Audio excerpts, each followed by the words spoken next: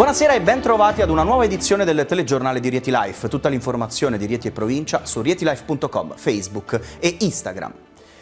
Rapina a mano armata nella filiale Intesa San Paolo dell'ospedale dell'Ellis. Paura nel primissimo pomeriggio di oggi, intorno alle 14, un uomo a volto coperto, aiutato dalla mascherina anti-covid e vestito di scuro, si è introdotto nella banca armato di pistola e ha minacciato i tre dipendenti all'interno per farsi consegnare quanti più soldi possibile. Eh, a quanto risulta il bottino però non è stato ingente, con l'uomo che si è poi dato alla fuga con poca moneta sottratta alla banca dell'ospedale.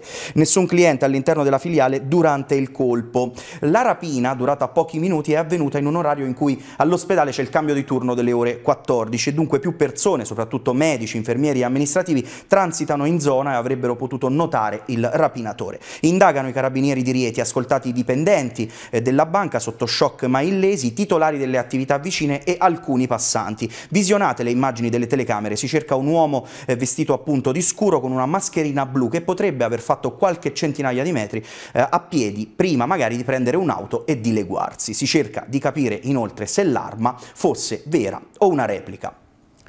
La pandemia sono 6.628 gli attuali positivi al Covid nel Reatino. Nell'ultimo bollettino 270 nuovi casi e 235 guariti al tampone di controllo. Nelle ultime 24 ore sono stati eseguiti 3.049 test nei vari drive-in della provincia. Scendono i casi anche nel capoluogo, il totale va a 2.114. I guariti anche oggi superano i nuovi casi e si registra un calo dell'incidenza rispetto allo stesso giorno di una settimana fa. Sono 1.865 i i casi in meno, ha detto con uno sguardo sul Lazio l'assessore alla sanità regionale Alessio D'Amato. Torna la stagione teatrale al Teatro Flavio Vespasiano di Rieti. Nel cartellone ideato da Comune e ATCL con il sostegno di Regione e Ministero della Cultura, tanti volti noti dello spettacolo. Apre l'Ello Arena il 12 febbraio con Parenti Serpenti, il 26 invece l'Enrico IV di Pirandello con Sebastiano Lo Monaco, un abitué del Flavio. E poi l'11 marzo Paola Quattrini con Oggi è già domani e l'8 aprile Carlo Buccirosso, che scrive e dirige l'opera, porta in scena a Rieti la rottamazione di un italiano per bene. Paola Gasman e Ugo Pagliai il 19 maggio chiudono con Romeo e Giulietta, una canzone d'amore. Su rietilife.com i prezzi degli abbonamenti e le modalità per ritirarli.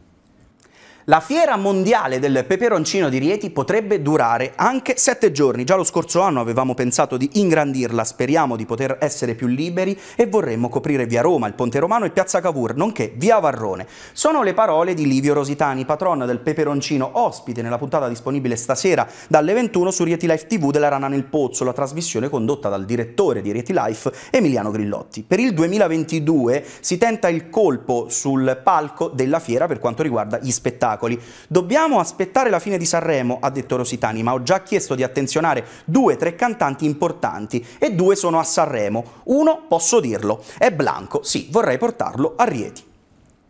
Lo sport, il basket, sorride la NPC che ha vinto il derby contro la Sebastiani, quasi sulla sirena, 66 a 64. La NPC ha guadagnato così anche la Final 8 di Coppa Italia. Mercoledì scorso, in un Palazzo Journer pieno, si è visto vero basket e anche un tifo che è tornato a gioire e a pungolarsi nel pieno spirito di una stracittadina che mancava in campionato ma che si era vista in Supercoppa.